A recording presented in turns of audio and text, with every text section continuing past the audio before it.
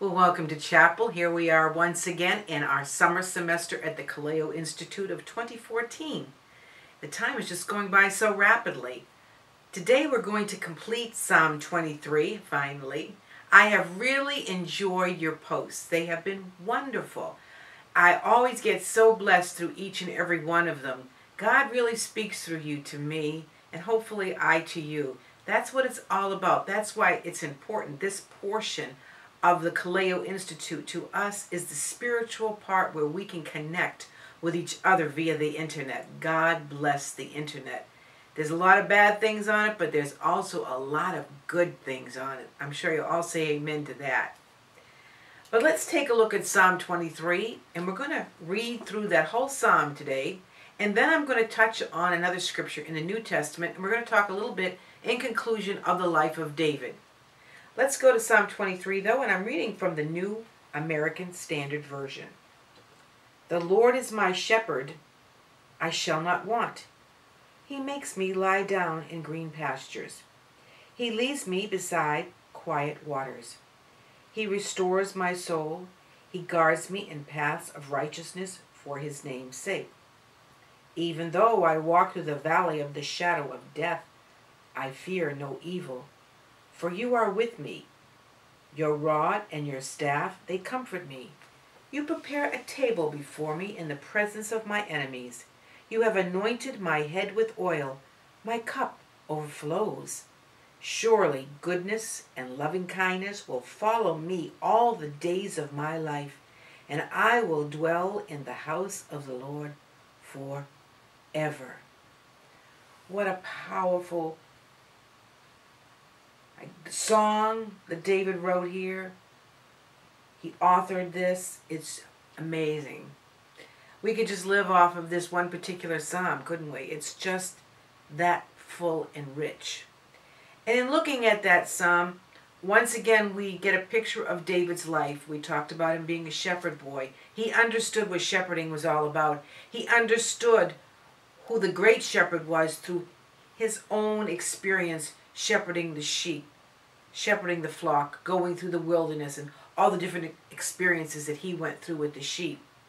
Now, what I would like for you to do for me is to go to Peter, First Peter, chapter 5, and we're going to be looking at verse 10. We're going to start there, then I'm going to back up just a little bit. Verse 10 in First Peter, chapter 5, verse 10 says, After you have suffered for a little while, the God of grace, who called you to his eternal glory in Christ, will himself perfect, confirm, strengthen, and establish you. I believe this is what God did for King David. I believe that's why he was able also to write the psalm, also because of the tender loving goodness and loving kindness that God showed him. You know, David did some wonderful things. We know he, destroyed the uh, he destroyed the giant, he killed the giant, and it goes on and on and on, all the little stories in there of David. They're, they're wonderful. But we also need to remember the other side of King David, of King David. King David, we know, had problems before he became king with Saul and was tormented by Saul. And Saul, we know, was tormented by him. But he went through a lot. His life was endangered. He almost died a few times in that situation. But then he goes on to become the king, as we all know, and he falls in love with Bathsheba, someone he has no right going after, but he does. And he commits adultery with her. Now he decides, what am I going to do? I've got to make this right. He has Uzziah, Bathsheba's husband, killed on the front lines. He puts him on the front lines of the soldiers and has him intentionally killed. David was a bad boy. But David understood the faithfulness, the loving kindness, and the goodness of God. He understood that God forgave him. He understood that he could still go on as the king. He understood how it was to receive God's grace and mercy. And this particular chapter in First Peter talks about the shepherding of God's people in the midst of suffering. And that's what God did with David, with the things that David went through. Charles Spurgeon said, The Lord gets his best soldiers out of the highlands of affliction.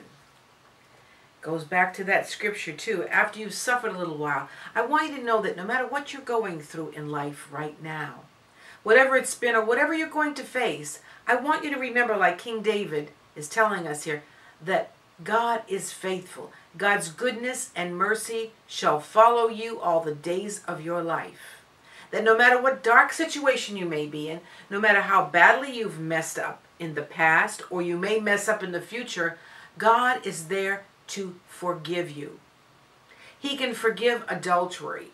He can forgive fornication. He can he can forgive pornography if that's what you're into. He can forgive all of those things. And you know what? A lot of those sins I've just touched on, maybe some of you have experienced lying, cheating. There's so many, many, many. We've sinned somewhere, and don't say that you haven't. We all have sinned and fallen short of the glory of God. But we also must remember that God's a forgiving God. That if you'll turn away and you'll ask Him to forgive you, He'll forgive you over and over and over again. Not just once. What do you think the cross was all about? What do you think the why God had to send that final lamb, the lamb of God who was slain to forgive the sins of the world? Man couldn't do it no matter how hard we tried. And David understood this. And he says, I will dwell in the house of the Lord all the days of my life. David knew that the safe place was under the shepherd's wing, under the shepherd's arm, under the shepherd's, what do we say, staff, however you want to say it, however God, in the typology that we see, is represented. Surely goodness and mercy shall follow you all the days of your life. And you know what? No matter what suffering you're going through, rejoice in it because God is a good God and He will bring you through to the other side. You may be going coming out on the other side on something right now. Or maybe it's about to happen. I don't know, but I do know that God's word is true. This is a true story. This is not fiction. This is as non fictitious as you're going to get. This is the truth, and the truth shall set you free. And I'm just telling you what God's word says. So therefore, surely goodness and mercy shall follow me all the days of my life, and I shall dwell in the house of the Lord. Not just here on earth, but as we enter into the next life, we shall dwell with the Lord in his heavenly house. I look forward to that day. I think about it quite often. People say, well, that's kind of sadistic. No, it's not. It's reality. It's my hope. It's the hope of glory. Let me pray with you today.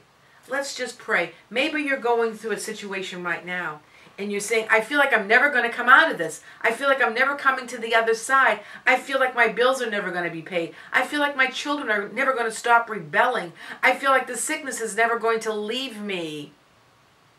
I feel alone. I feel unwanted. Whatever it may be, God is the God that you need to go to right now. Let, let us pray. Dear Heavenly Father, we thank you that you are with us, that you are leading us, just as Psalm 23 says, that your goodness and loving kindness shall follow us all the days of our lives. And as David said often, David said often, that he would dwell in the house of the Lord. And that's what he was looking for eternally. Lord, I just thank you right now, and I ask you to bless each and every student listening. That you would touch each and every one of their hearts, that you would encourage them this day to know that you are on their side. In Jesus' name we pray. Amen and amen. Now, my question homework. How has God shown you his loving kindness and mercy?